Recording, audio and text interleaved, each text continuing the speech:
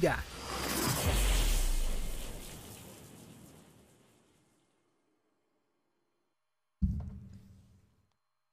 Are you actually kidding me?